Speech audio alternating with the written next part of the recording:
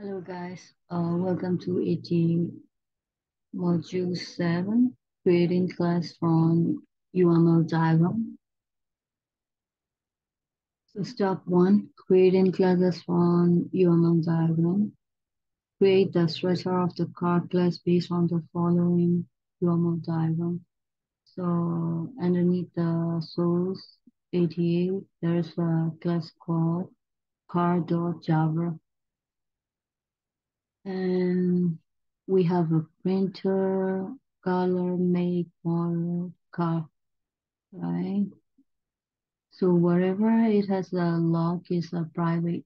So private printer, printer, put right here, and private string color, and private string make, and private string model that, uh, we have a method. M is referred to method. Public car, it has a three string, three arguments, string color, string make, and string model. So we have to call the method like this dot color equal to color, this dot make equal to make, this dot model equal to model, and printer equal to new printer. Right here. And then is the add method from UML diagram below, right? So methods mean get color, get make, get model. So public string, get color, return color. Public string, get make, return make. Public string, get model, return model. And then eh, we have to add the uh, method start and stop, right?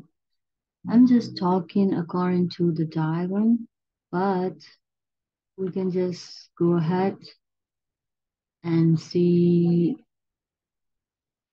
what is happening here. So we say there are three private attribute of type string called color, make, model. We already put that up there, and there's another private attribute custom custom printer type called printer. It has a constructor that takes in three string parameter. While not shown, the constructor should order the parameter in this order, color, make, and model.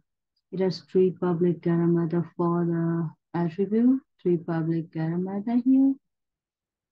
And here's two other public method to start and start the car.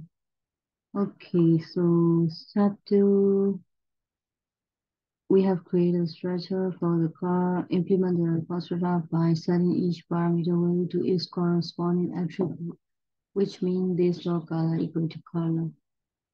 Okay, and then initializing the printer attribute to a new instance of the printer class. It means we initialize the printer value to new printer class. And then setter and getter method by returning their respective private attribute, right? It's right here.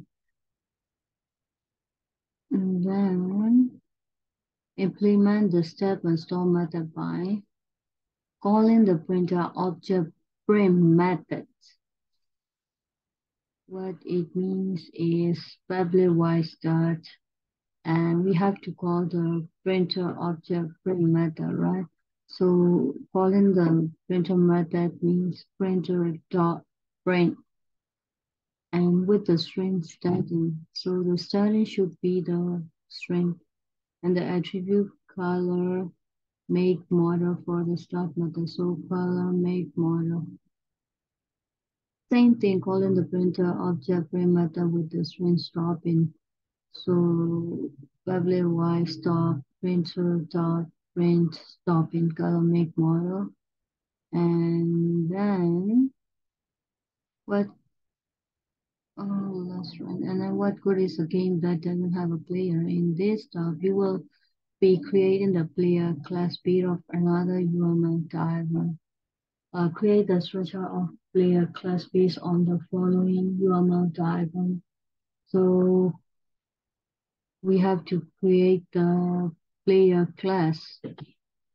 An empty player class has been provided for you, so we don't need to create it. If it's not there, you can just click on ATA and just click new at the top left corner and choose file. And you can type the name here, like player dot java, right? So it's a new file and then just simply submit button. But in this case, we already have a player class. We will just cancel it. And let's go to player class. So always make sure there's a package com.ata uh, at the top of the class. And then inside the public class player, class player, we have a, there's a one private attribute of type car called car. So private car car. And it has a constructor that takes in a car object as its parameter. So public player constructor is public player car car. Top car equals to car. And it has a two method to stop and start and stop the game. So we have a public void start game and public void stop game, right? And then let's see how to create a start game method. Uh, this line is implement the constructor by setting the passing parameter for the constructor to the car attribute. It means this one, car car, this dot car equals car and implement the start game method by calling the start method of the car object. So car dot, whenever we call the method of the car object, we put the car in the front.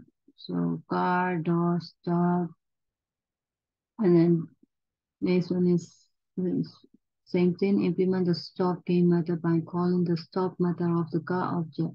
So car dot stop that's it. And then just simply run run workflow step um zero four, right? Uh, or in this case, I'm gonna just go ahead and do the test all.